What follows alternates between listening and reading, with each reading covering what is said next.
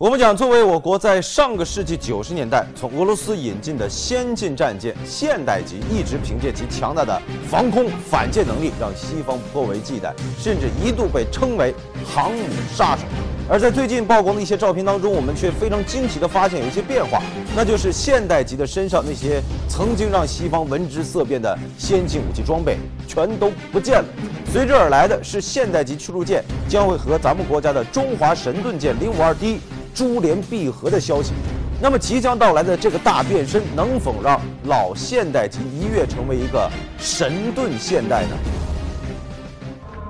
近日，一批神秘的驱逐舰改装照片在我国各大军事论坛上广为流传，迅速引起了外界对该型舰艇的好奇。尽管照片只是一些局部特写，但仍然很快就有人认出。这艘正在面临大变身的舰艇，正是我国从俄罗斯引进的现代级驱逐舰幺三六号杭州舰。然而，令外界颇为惊奇的是，在这款中国海军列装的首艘现代级驱逐舰上，竟没有了昔日航母杀手日制超音速反舰导弹的影子。据了解，这款装备是苏联在二十世纪七十年代后期针对美国宙斯盾系统的各项性能指标所研制的秘密武器。随后又由于该导弹突防能力较强，可以在距海平面七米的高度擦着浪尖飞行，而被西方视为航母杀手。尽管早期该型导弹一百二十公里的射程以及低空最大二点二马赫的飞行速度，已经令其成为了名副其实的反舰明星，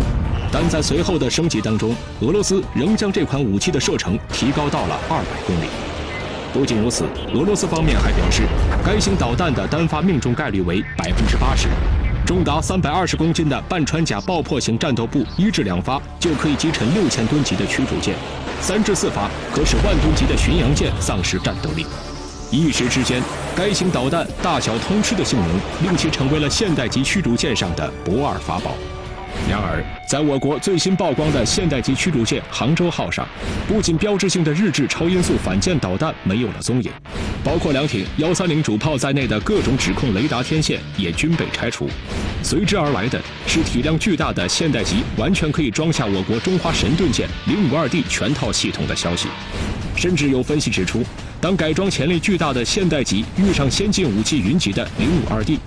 必将使老现代一跃成为神盾现代。它通常不会改变这个原全舰原有的大的这个设计格局，嗯，你只需要改变它那个具体的位置就可以了。包括你像现代的反舰导弹，我们要求什么？要求它抗干扰能力要强，要求它适应电磁辐射环境之下还能够精确命中目标。不是因为它不好，是因为它已经落伍于现在这个时代，我们需要对它进行升级改进。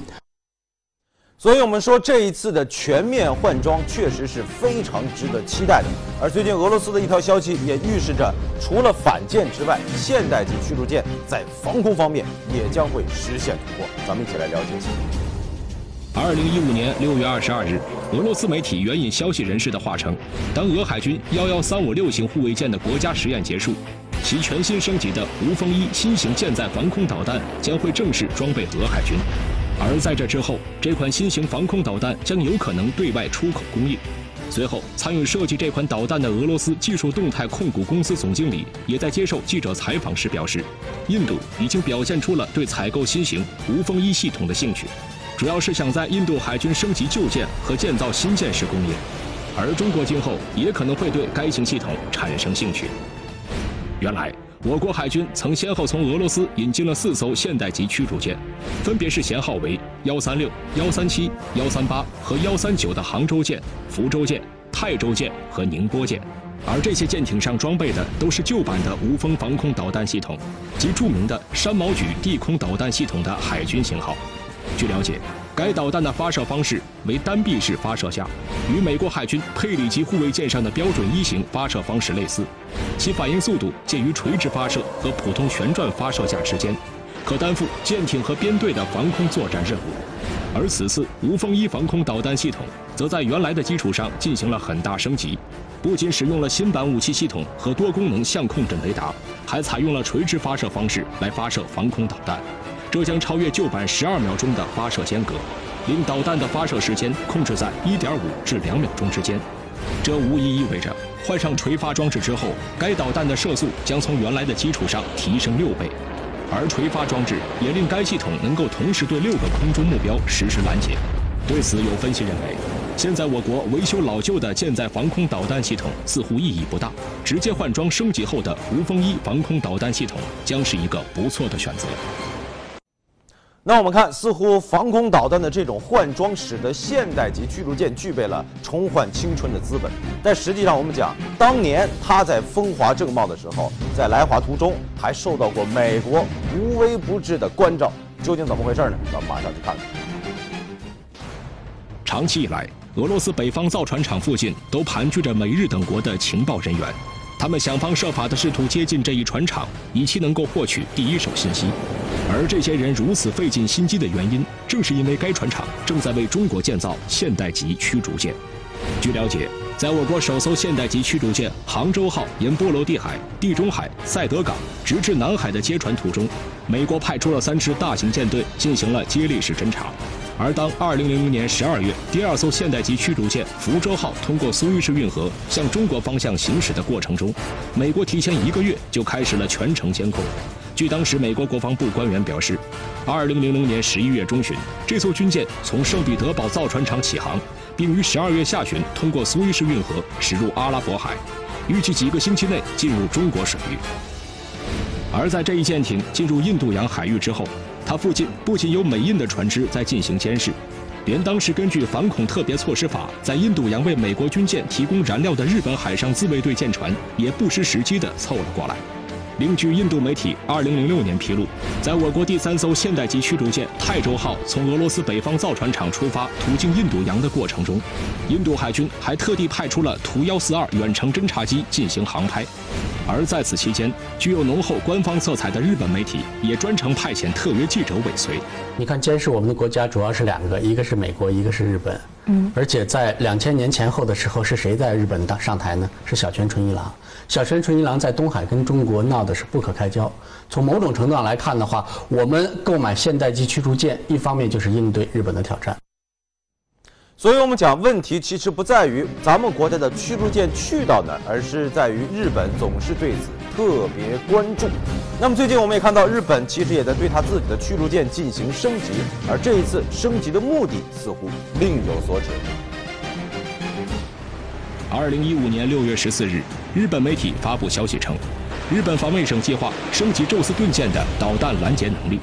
届时，通过功能的追加，宙斯盾舰将具备同时拦截大气层外的弹道导弹和低空飞行的反舰导弹的能力。而有分析指出，日本此次之所以对宙斯盾进行升级，是因为其原本就存在着一个不为人知的缺陷。据了解，早在今年五月下旬，美国国防部就曾向外界宣布，洛马公司已经获得了一份价值七千万美元的合同，为日本两艘爱宕级导弹驱逐舰升级宙斯盾作战系统。以让这款性能在全球名列前茅的导弹驱逐舰具有同时定位、跟踪飞行器和弹道导弹的能力。据了解，目前日本海上自卫队拥有六艘宙斯盾舰，其中的四艘在初始设计时就缺乏在搜索弹道导弹的同时应对战斗机和反舰导弹攻击的能力。再加上美国并未允许日本在该舰上加装能够进行对地攻击的战斧式巡航导弹。导致日本不得不为了防止来自敌方的潜艇和攻击的打击，而为宙斯盾舰再另外配备护卫舰，而这一现状无疑令宙斯盾的升级显得迫在眉睫。而在今年的六月十四日，日本媒体发表了一篇文章称，日本防卫省正计划提高宙斯盾舰的导弹拦截能力。与此同时，宙斯盾舰还将引进与友军的宙斯盾舰和飞机共享敌方目标信息的系统。据了解。目前，防卫省正在改装两艘宙斯盾舰，今后还将建造两艘宙斯盾舰。通过计算机处理能力的提高，未来同一艘宙斯盾舰上将实现同时搜索高空弹道导弹和低空反舰导弹的能力。对此，有分析认为，目前日本全境防御弹道导弹的攻击需要三艘宙斯盾舰，而如果再将维修保养等因素考虑在内，目前日本的四艘宙斯盾舰体制只能是勉强应付。尽管通过升级和新建之后，这一现状能够暂时得到改善，但新系统的升级无疑会让日本的整个作战系统更加依赖美军的雷达和武器，出现美军不发话，日本就无法进攻的尴尬局面。那我们讲，不管怎样，我们也确实看到咱们国家的现代级驱逐舰在进行了一系列改装之后，确实引起了很多国家的关注。而同时呢，我们也发现近些年来，咱们国家的一些老牌的现代级驱逐舰急需改装之外，一些新型的舰艇也是接二连三的进行开工，呈现了遍地开花的态势。二零一五年四月二日，一批大连造船厂正在建造的中华神盾零五二 D 型导弹驱逐舰的照片开始在网络上流传。从图片中不难看出，新建的这艘零五二 D 已经完成了船体的建造工作。对此，有分析指出，这是继上海江南造船厂批量建造零五二 D 型驱逐舰之后，又一家造船企业开工建造零五二 D。据了解，在今年零五二 C 型导弹驱逐舰西安舰入列之后。中国海军目前已经拥有了七艘神盾舰，全面超越了日本海上自卫队，成为世界第二大神盾舰队。而目前，经过零五二 B、零五二 C 的探索和发展，零五二 D 型在增加了通用垂直发射系统、新型舰空导弹武器系统以及改进提高警戒探测、编队作战指挥等系统之后，将进入大批量建造和服役阶段。而前不久，有外媒指出，截至二零一五年一月。我国海军在建的舰船共计二十一型，近六十五艘，各型舰艇合计约三十万吨，总吨位仅次于美国，居世界第二。而据不完全统计，除了正在加紧建造的新型舰艇之外，我国海军上世纪九十年代服役的主力战舰，目前基本都在进行现代化改装升级。据了解，引进现代级驱逐舰时，恰逢我国海军战力青黄不接，新一代国产计划尚未成型的过渡时期。现代级的到来，令我国海军三大舰队都及时有了具备区域防空能力的舰艇。尽管随着后来我国造船技术的不断成熟，以及大批新型舰艇的问世，现代级驱逐舰已经逐步完成了它具有过渡色彩的阶段性使命。但经过此次全新的改装升级，它必将在我国海军序列中。